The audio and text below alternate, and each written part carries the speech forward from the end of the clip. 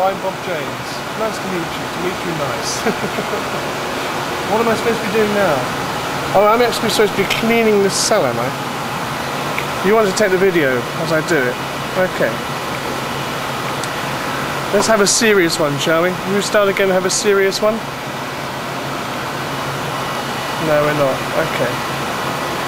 Right. I'm just going to clean the cell and make sure, see how easy it is to move across. I'm going to push across, push the cell across sideways and see if it moves. Now I'm pushing with my thumb, my finger. It's not moving, it's only moved a little tiny bit. So therefore what I'm going to do, I'm going to add some ethanol to this.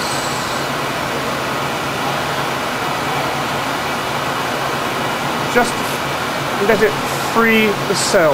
So that should be now free. And now I can move it once more. It should be able to slide across. No problems. There, sliding across like that. Now I can clean the cell to begin with like this. Let it start. then I will clean the cell with ethanol properly using another piece of paper.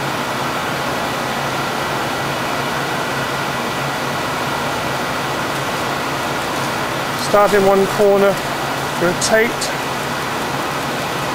clean, move across a little bit, still slightly wet with ethanol, so I can clean here as well. A little further. Now getting drier. I start to pull it across. You should see the cell is now clean and dry I hold it to the light just to see and there's a little bit of pressure there and that is now when you're holding a cell, always hold the cell with two fingers. If you hold it with more than two fingers, it might fall out. With two fingers, you always hold the cell two fingers. Safer. So it's safer. So the cell, that part is ready. This is the other half, just to clean.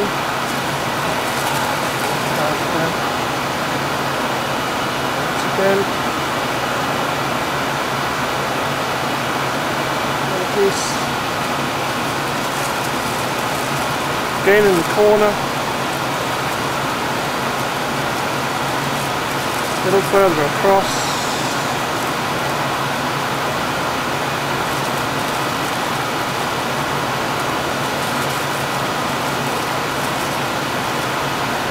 Dryer again finally a dry corner just to make sure it's nice and dry.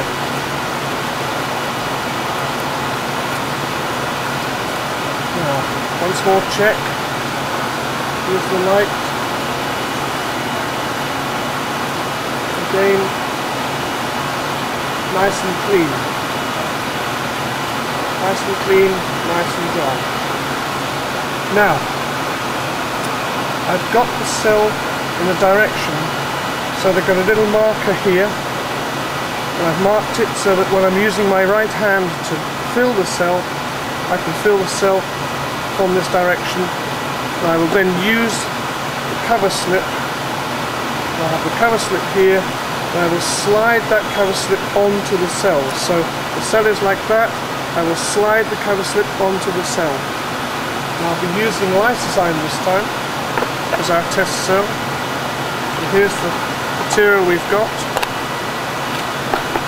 I'll be using it so that I put the material, fill it, and I'll put material into this corner down here. So I'll fill into this corner here so that I can then slide it onto the cell like that goes. And another piece of paper ready because that piece of paper is going to be used to squeeze any excess liquid out from your cell. So, take this off.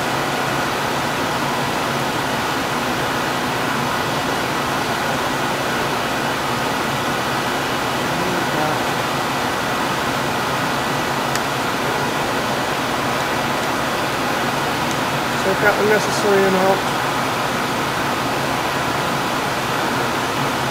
Always know how much material you have to put into your cell and always use the same material for that cell. I'm going to present it down here.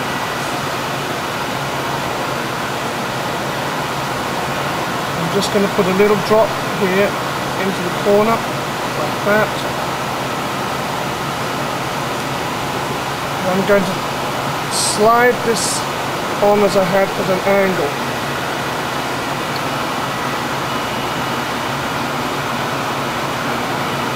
sleeve that in as an angle, take it into position, so that I'm now going to line across there, the marker's in position, and I'm now going to squeeze it so that there's any excess material coming out, and squeeze off any excess material. It's coming from the cell. I'm now going to squeeze off more material always pressing at the edges of the cell, not in the middle. Just pressing the edges of the cell, mostly down on the board as opposed to the actual cell itself.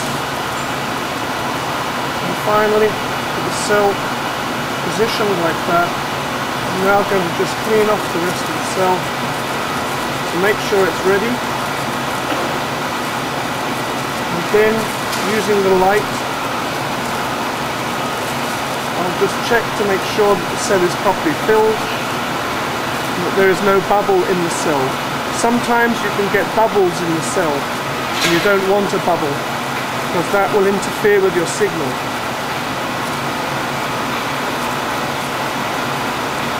So, again check with the light, a little bit of cleaning just to make sure it's clean. Good. That's clean. Now, loading the cell.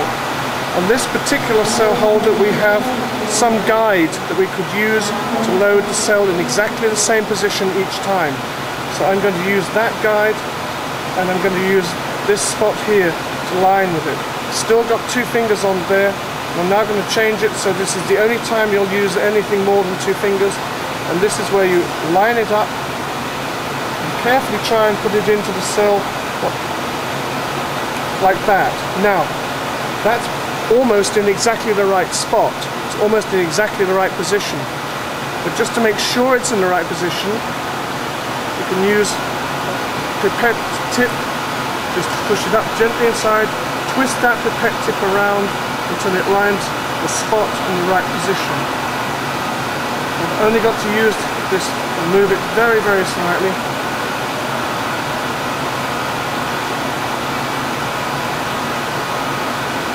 very slightly indeed. Just check that is in the right position. And your cell must be in exactly the same position each time. Because if it is, if it is not, then you will get some problems with the cell itself. Because the cell has some circular dichroism effects inside the cell. So I've got the plate here and the plate there. That is right. But if I had the plate here and the plate like that, that would be wrong.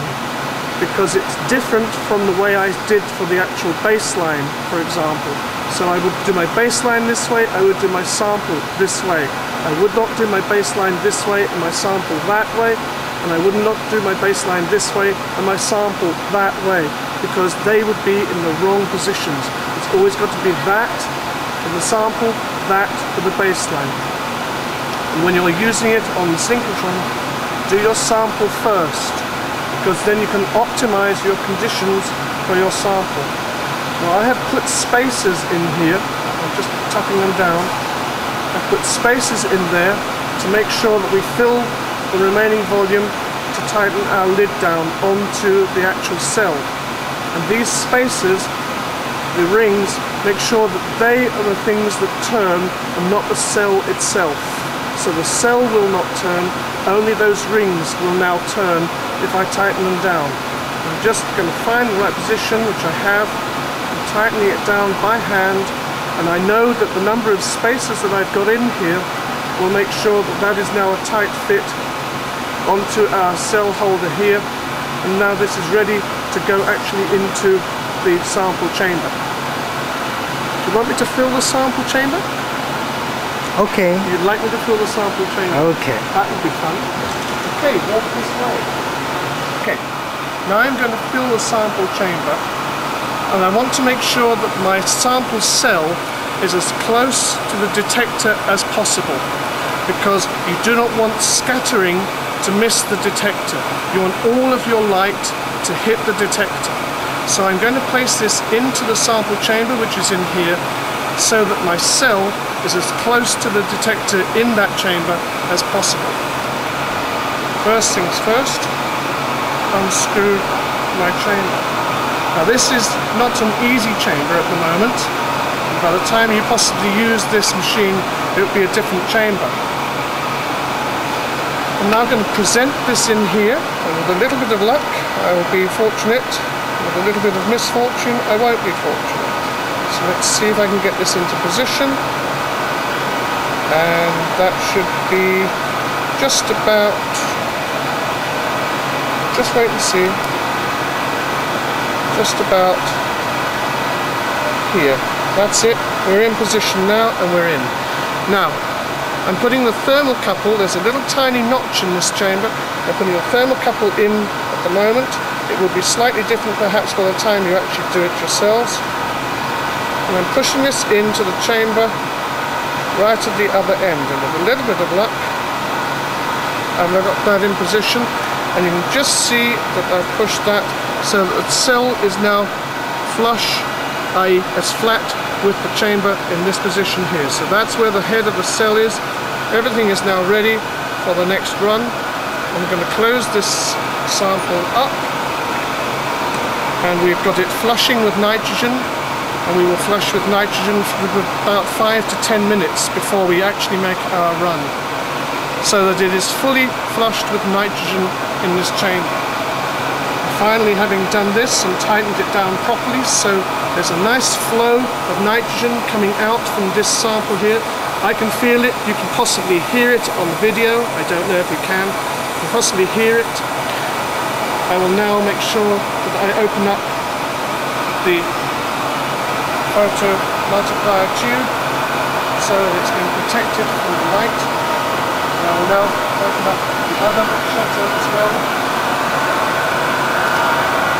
make sure the whole machine is now ready for use and in about 10 minutes, between 5 and 10 minutes, our run will start.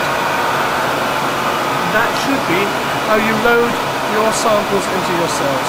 Have fun.